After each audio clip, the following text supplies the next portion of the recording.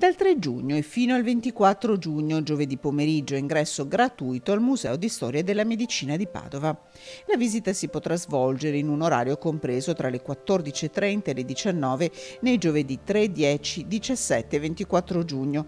Un semplice clic sul sito della struttura al link www.musme.it slash tigotadeis con la scelta di una fascia oraria sarà sufficiente per accedere a un vero e proprio viaggio alla scoperta della scienza dove toccare non è vietato ma obbligatorio.